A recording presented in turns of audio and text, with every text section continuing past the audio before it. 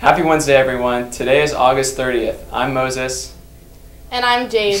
So, Let's get right to our top story. our bowling team is celebrating a huge victory. In their very first match, they swept the Cypress Lake Pinheads. Uh, lol, I mean Panthers.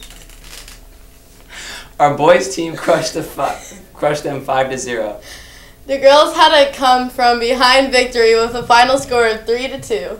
If you see one of the bowlers in the halls today, tell them congrats. Because it's not how you bowl, it's how you roll. Our volleyball team is also celebrating. They swept St. John Neumann last night. Way to go, ladies. Tonight is our swim team's turn. They will face off against the Naples Golden Eagles.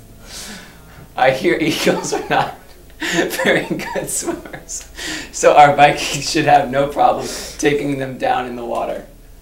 Good luck, swimmers! You may have noticed we have many new teachers at Verot this year. Today we want to introduce you to theology teacher Miss Lennox. What subject do you teach and why is it your favorite? I teach theology, freshman and sophomore theology. It's my favorite, uh, probably because I have a deep passion for Christ and for Jesus and church, and so I want to share that with my students and with other people. Um, what previous school did you come from? Uh, I previously worked at a church in Fort Lauderdale, so this is my first time teaching high school, but I'm really excited and uh, happy with the beginning of the school year.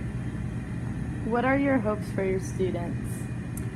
Uh, I hope that my students can learn um, about Jesus in a personal manner, having a relationship with them through prayer and reading the Bible, uh, and hopefully they can just have a deeper appreciation um, for Christ.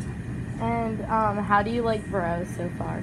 I love Verot. I think everybody is like so great, and all the teachers and students have been uh, so nice and welcoming to me, and uh, it's a great place to work. Miss Lennox for letting us get to know you a little better.